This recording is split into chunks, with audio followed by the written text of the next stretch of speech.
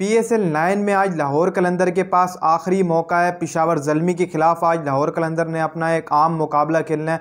लगातार चार शिकस्तें जो है वो अपनी दर्ज करा चुकी है लाहौर कलंदर इस टूर्नामेंट के अंदर। और आज एक आखिरी मौका है जो कि पिशावर जलमी के अगेंस्ट है। पिशावर ने भी एक मैच जीता है। यहाँ पर अगर लाहौर कलंदर एक मुकाबला जीत जाती है पिशावर जलमी से तो कहीं ना कहीं टूर्नामेंट के अंदर जो लाहौर कलंदर है, वो वापसी कर लेगी। लेकिन दूसरी तरफ़ अगर हम जायज़ा लगाएँ तो वहाँ पर एक इंजरी हो चुकी है हारिस रऊफ़ की सूरत में। एक मैं समझता हूँ कि बड़ा झटका लग जाएगा अगर उनको इंजरी हो जाती है, वो टूर्नामेंट से बाहर हो जाते हैं।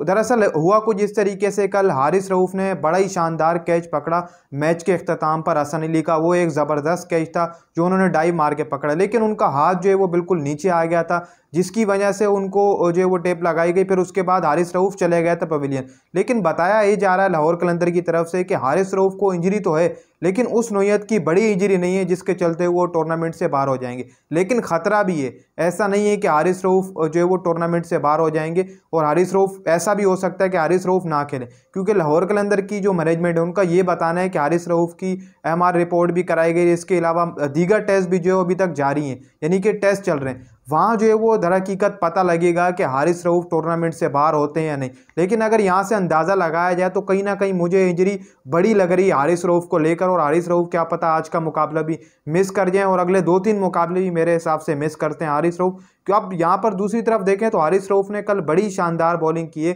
शाहिन शाह अफरीदी की लंबे अरसे बाद वापसी हुई है बॉलिंग के अंदर।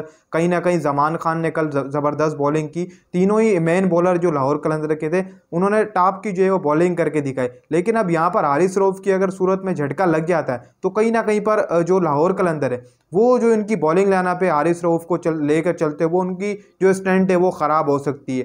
दूसरी तरफ़ अगर हम अंदाज़ा लें फ़कर ज़मान के हवाले से तो फ़कर ज़मान जो पिछले मुकाबले गुजरे, उनमें कोई बड़ी इनिंग नहीं खेल सकें ओपन भी कर लें, लेकिन वो इनिंग आ नहीं रही। लेकिन पाकिस्तान टीम में लास्ट मुकाबला, उससे भी लास्ट मुकाबला देखा जाए तो फ़कर ज़मान सेकेंड डाउन पर आकर खेल हैं, यानी कि वन डाउन आकर खेल हैं। न्यूजीलैंड के खिलाफ काफ़ी ज़बरदस्त इनिंग खेली थी, जब वो वन डाउन आकर पोजीशन पर खेले थे। कहीं ना कहीं पर आज या फिर हार फ़कर जमान है। उनको वन डाउन जो है वो खिलाया जा सकता है, उनकी जो जगह बन रही है, वो वन डाउन की बन रही है। पिशावर जलमी के अगेंस्ट क्या पता वो आपको वन डाउन खेलते हुए नज़र आए। साहिबजादा फरहान, अब्दुल्ला शफीक ओपनिंग करें।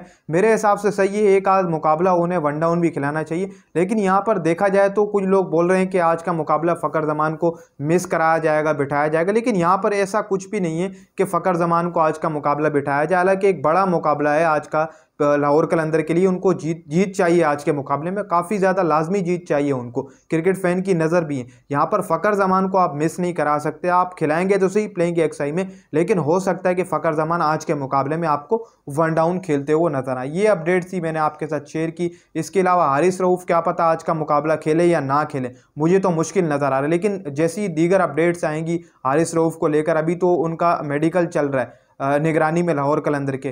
फिर जैसी अपडेट आएगी, हम आपको देंगे। मुझे तो मुश्किल लग रहा है कि हारिस रऊफ़ दो चार मुकाबले जो वो खेलें, आपको मिस करते हुए नज़र आए। देखो अब क्या होता है, अलबत्ता जैसी रिपोर्ट आएगी, हम आपके साथ शेयर करेंगे।